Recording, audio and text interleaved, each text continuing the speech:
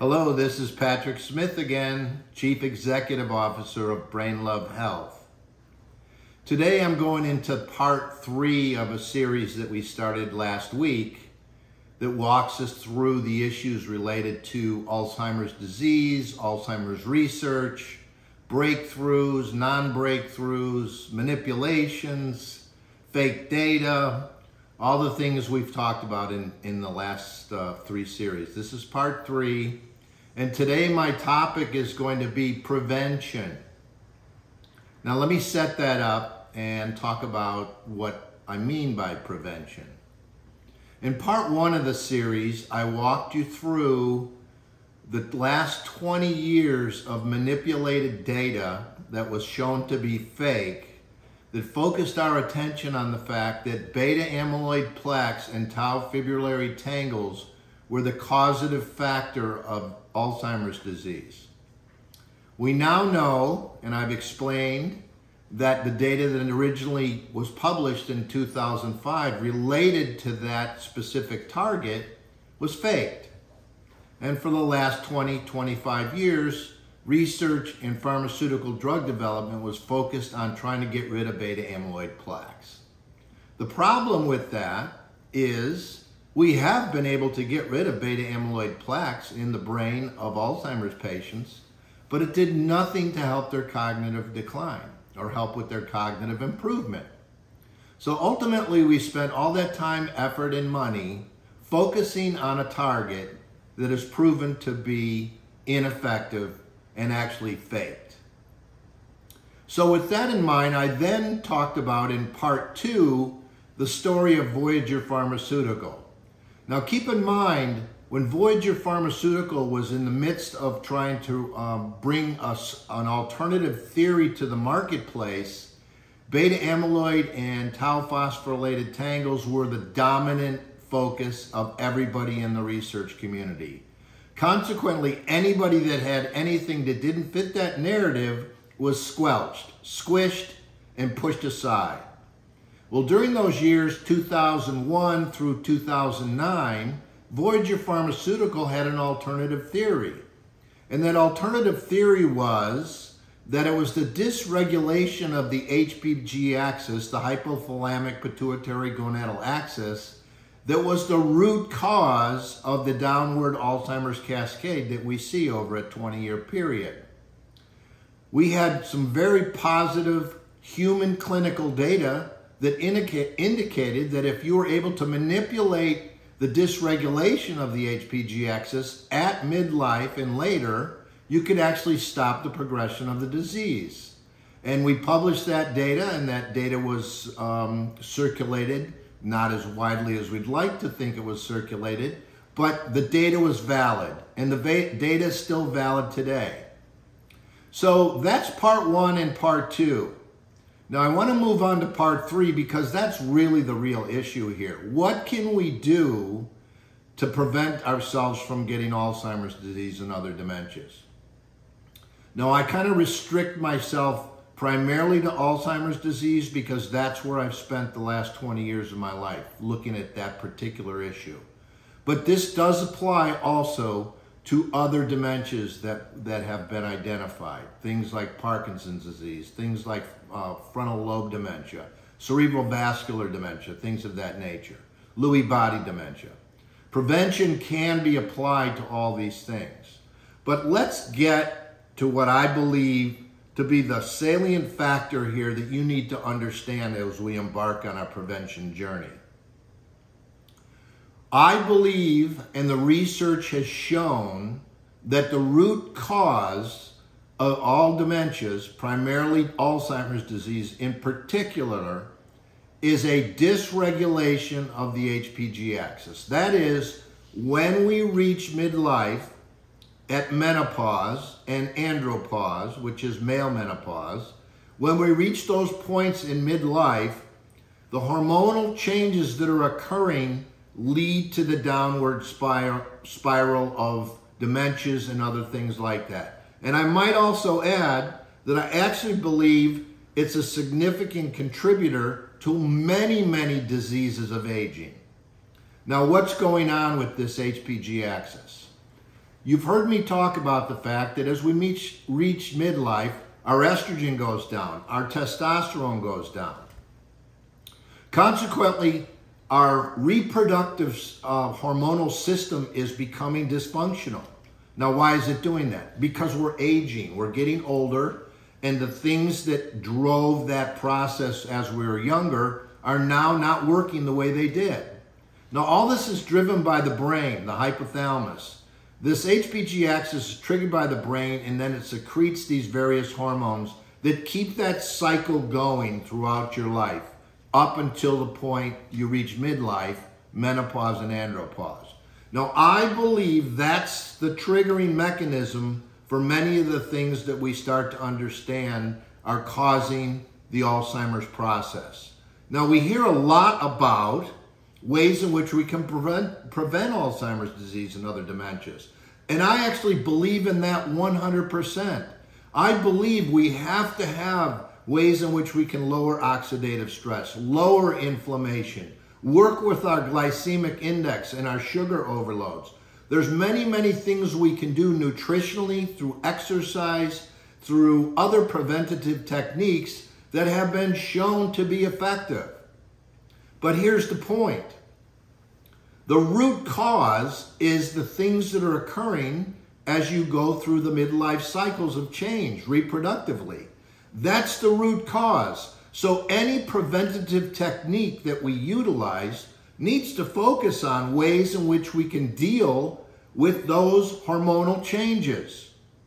Now that's my number one priority in getting across to you today is the data we showed in the early 2000s showed that there was a dysregulation in the HPG axis and when you lowered that dysregulation, you stopped the Alzheimer's process. You slowed it down. You kept it from progressing. Now, that never made it to the market as a pharmaceutical, but what I'm trying to say is the research, the data, everything that went into that into that hypothesis, that theory is valid today. So as Brain Love Health embarks on a prevention strategy and ways in which we try to help all the people that follow us to keep themselves healthy long into their 70s and 80s from a brain standpoint and a cognition standpoint goes back to the fundamental issue. We must find ways to balance out the hormonal changes that are occurring in midlife. Now, the, the hormone that I talk about the most, and you can see this on many of my live presentations, which we that are on our website, Instagram, and Facebook um, at Brain Love Health. You can see me discuss and talk about the HPG axis. You can see and hear me describe that as our estrogen goes down and our, and our testosterone goes down, there's another hormone that is going up, up, up, and it's that hormone, I believe, is the culprit in all these problems. Luteinizing hormone is the problem.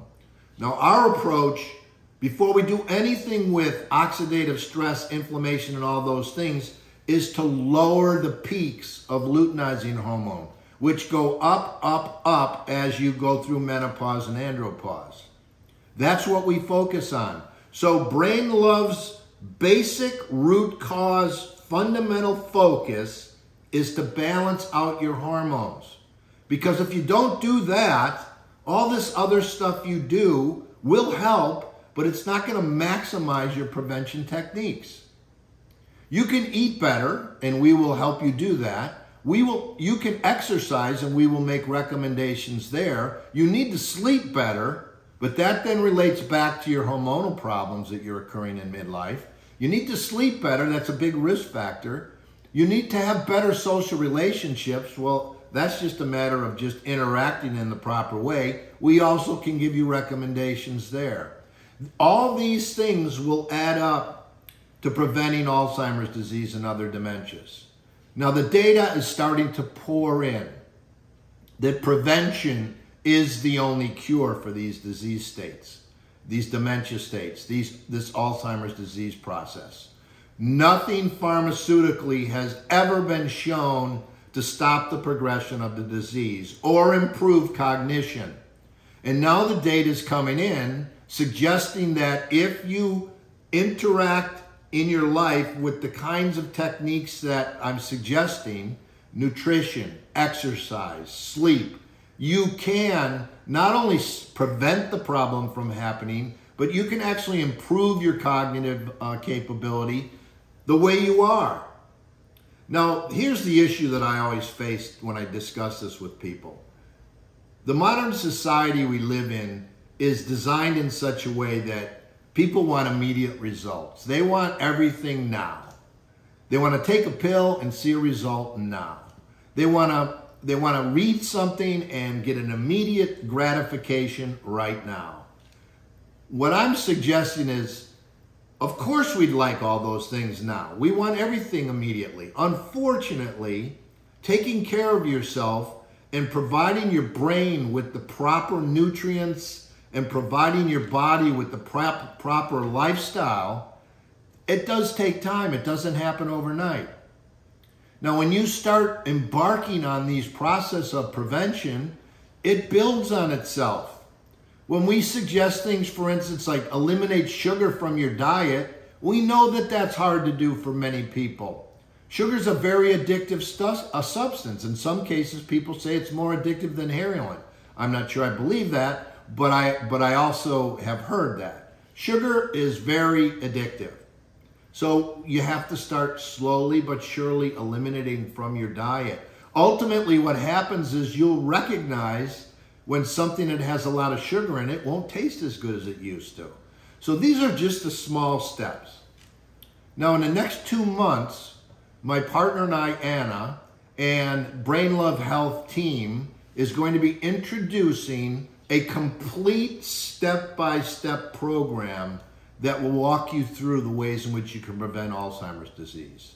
In addition to that, we currently have a product on the market that you can find on our website, brainlovehealth.com, that helps with the hormonal changes that I'm talking about. That's what our products are designed to do. Help with those hormonal changes. Because unless you get rid of that LH spike, all these issues of aging are going to progress at a, at a greater pace. We've got to lower the LH spike in order to stop the neuronal changes that are occurring, which we believe is the root cause of the Alzheimer's cascade. It's the triggering mechanism of luteinizing hormone that's causing neurons to do things they're not supposed to do. The neurons then create inflammatory effects we get free radical damage and oxidative stress in the brain. We then start to get beta amyloid plaques and neurofibrillary tangles. But the root cause, and I am saying this as emphatically as I can, the root cause is the dysfunction of the HPG axis when you hit menopause and andropause. So that's the start of a program which we believe is going to be life changing for you and those that you love.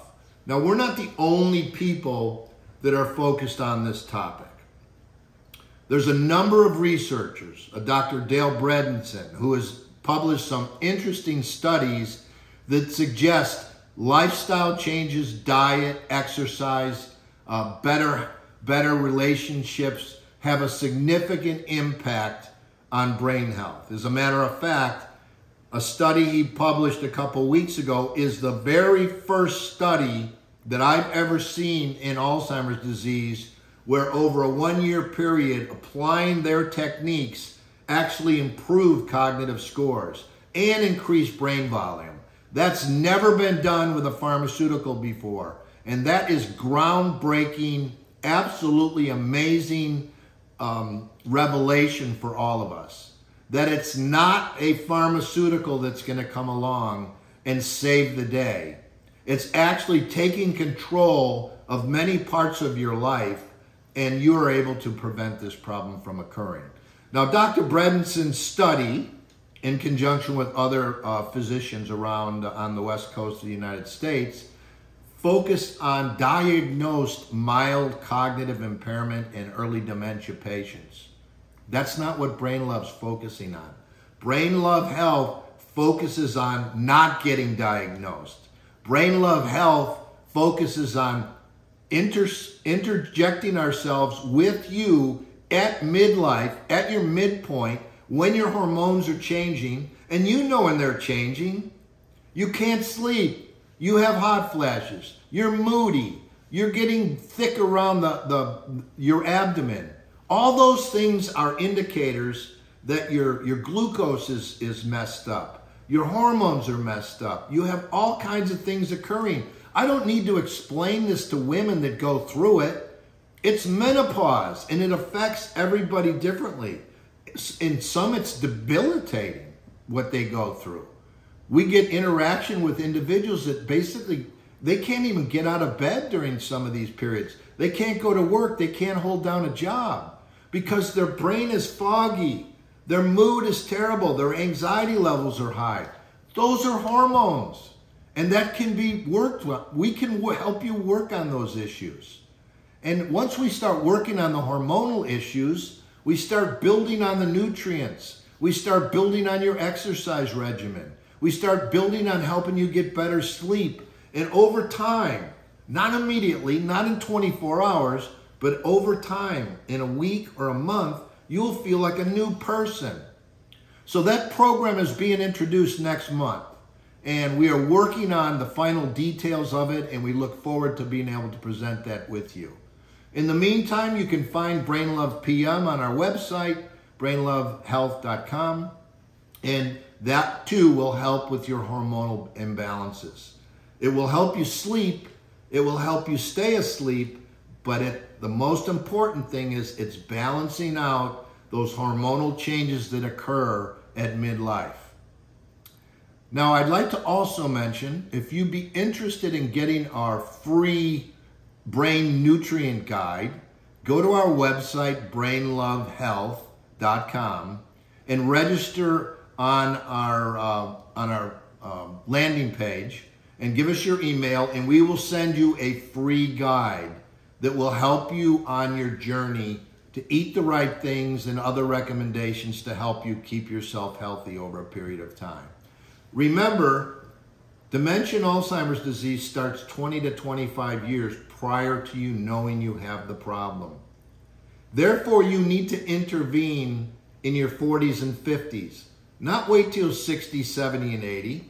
Although many of the things we offer, like Dr. Bredenson's program, can intervene at the point in which you're actually starting to have dementia issues, and they and nutrients and other things, better sleep, a better sugar balance, all those things will help at any point along that spectrum.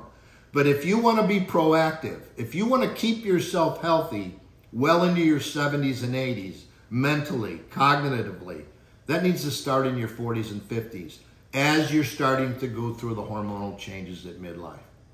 I can't put it any more emphatically than that. I believe so strongly that what we're doing here, the research we did in the early 2000s, identified the root cause. And because of the manipulation of the research and pharmaceutical community, they were so myopically focused on beta amyloid plaques that they completely disregarded everybody else's research. And I believe our research was valid. We proved it was valid. It had clinical significance in human clinical trials, but it was panned because it didn't fit the narrative of the day. So that's part one, part two, and now part three. And I want to thank you all for listening. You can find this on our YouTube channel, as you as you probably know, Brain Love Health. And we also post other content on our Instagram at Brain Love Health. On a daily basis, we give tips. We, we're here to help. Our primary focus, mission, and motivation is to help keep you healthy long into your 70s and 80s. Keep that brain functioning well, keep it at its, its peak efficiency, and I believe the recommendations we're making will help you do that. Thank you very much. I'm Patrick Smith. Have a nice day.